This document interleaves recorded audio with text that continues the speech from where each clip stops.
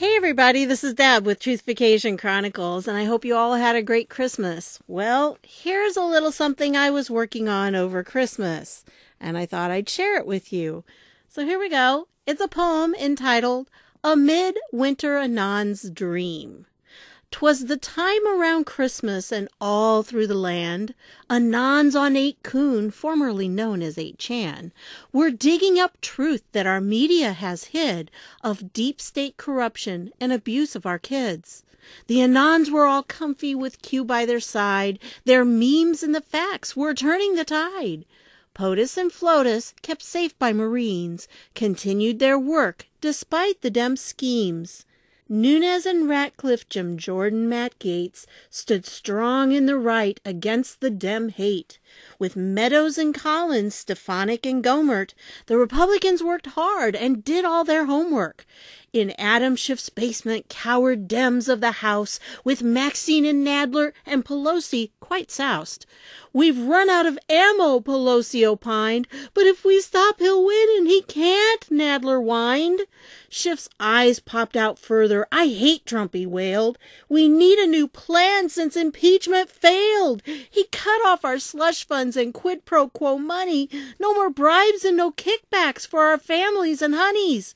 And then in the back there arose such a clatter from Swalwell's behind as he spoke on the matter.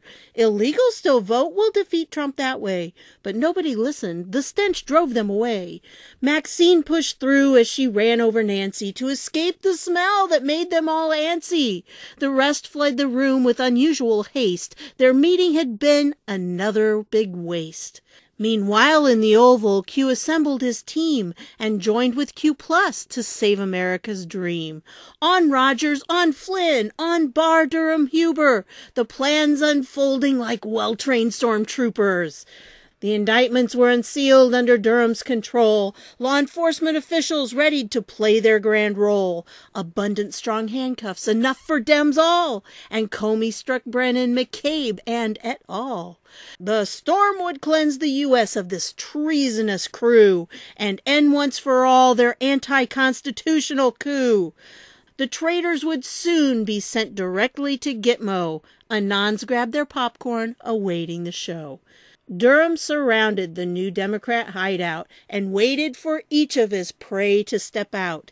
Since Congress is in recess, the arrests may start. The Democrat plans had all fallen apart. As soon as the first Dems were handcuffed securely, the rest tried to flee from Durham's righteous fury.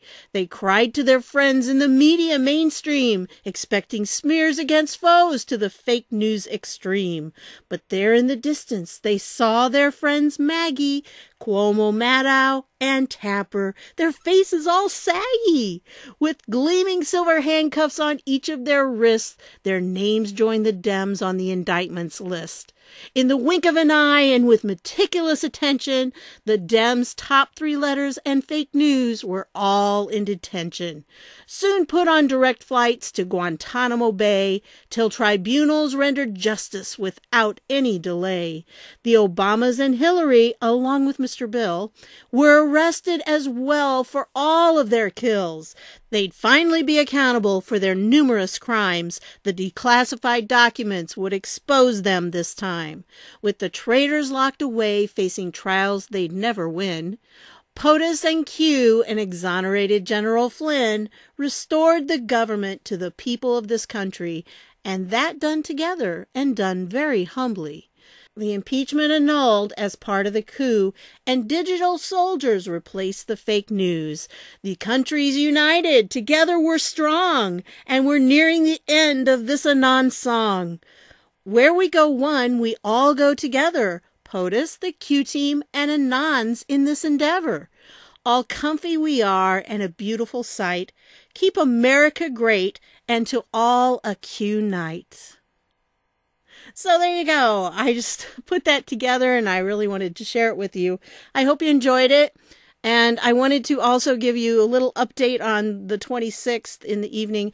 Uh, my intention was to have a live stream that night.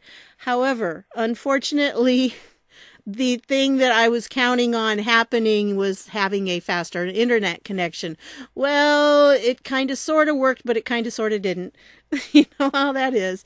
So it's not up and running correctly at this point. I thought it was, but then it wasn't. And so right now it's just not reliable. And so I'm not going to count on it.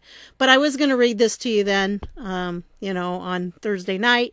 And I also have some other news, but I'm going to save that for the next video. So there's just stuff happening, you know? So, anyway, that's what I wanted to share with you. And again, I wanted to wish you all Merry Christmas. I hope your day yesterday was great and that you will enjoy today as well. Maybe some of you don't have to work. I don't know. It's hard when, you know, it falls on a Wednesday. It's kind of difficult to know what everybody's going to be doing. Do you go back to work the next day? Do you get the whole week off? What's the deal? Anyway, that's what I've got for you on this one. I want to thank you for stopping by, and I'll see y'all later.